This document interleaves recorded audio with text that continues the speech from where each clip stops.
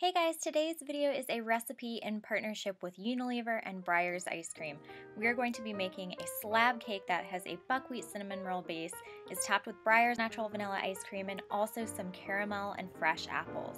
So the first step of this recipe involves a standing mixer, and we are going to be making the base for the buckwheat cinnamon rolls.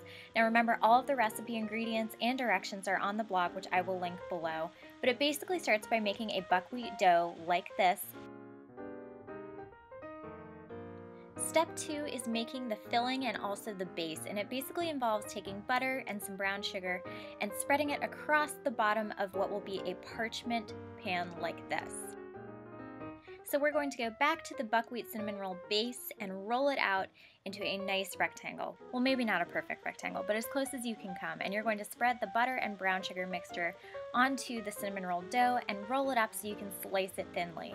Now, as I mentioned in the post, this can make double batch of the cinnamon rolls, but we're only going to use half and slice them thinly to put them in and bake them. Once they are baked, you're going to top them with peanuts and also a caramel sauce, and then comes my favorite part, the gorgeous Breyers ice cream. Now this is their natural vanilla flavor. They are great about their sustainability initiatives.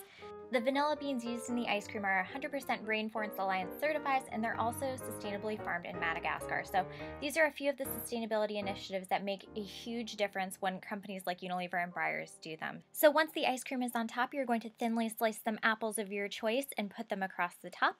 Drizzle more caramel and also some peanuts and enjoy. Grab the full recipe on the blog and I will see you guys next time.